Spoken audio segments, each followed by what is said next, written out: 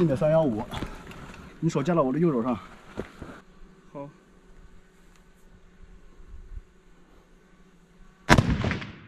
在锋刃二零二三国际狙击手射击竞赛中，综合战斗狙击是一大亮点科目。该科目在模拟村落中进行，参赛狙击手以两人小组为单位，依次完成渗透接敌、武力营救、追踪狙击、控手狙击、反击撤离五个环节。参赛狙击小组进入模拟村落后，首先要射击两三百米外的山坡上矗立着的匪徒警戒哨卡，通过渗透接敌环节。随后，狙击小组在村中房屋地道穿行，尽快接近人质被关押的地点。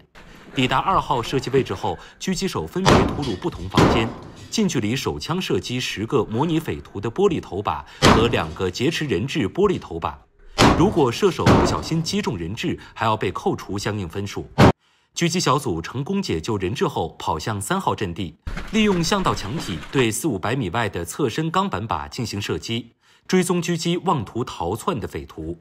此后，狙击小组还需完成控手狙击和反击撤离环节，分别考验狙击手对首要目标的精准狙击能力和远距离狙击能力。模拟在敌后解救人质这种战术背景下，我们按照战斗进程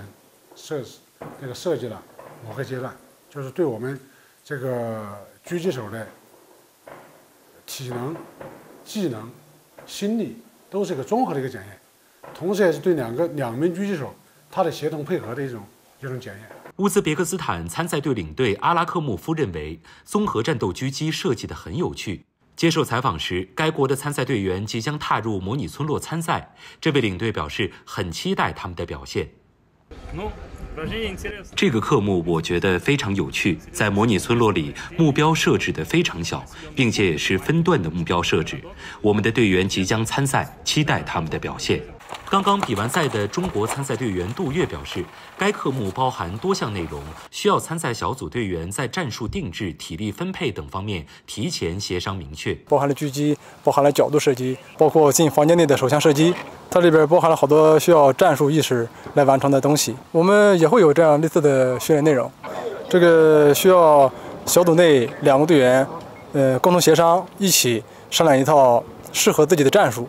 来完成整个科目。包括体力的分配，包括在射击当中谁打哪个科目，都需要进行明确的分分工。中国参赛队员李鹏鹏认为，无论在何种情况下，狙击手都需要保持心态稳定，信任队友。无论在呃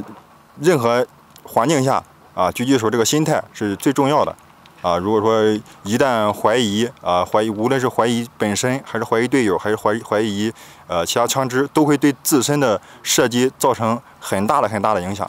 呃，我认为就是狙击手，呃，非常重要的一点就是心理方面。比如说在比赛当中，不管你上一个科目打得好与坏，呃，都不能对你下一个科目进行有有有一定的影响，需要对心理，呃，进行一个强化，呃，才能应变比赛也好，战场也好，一些突然变化的一些环境，它能够很好的应变。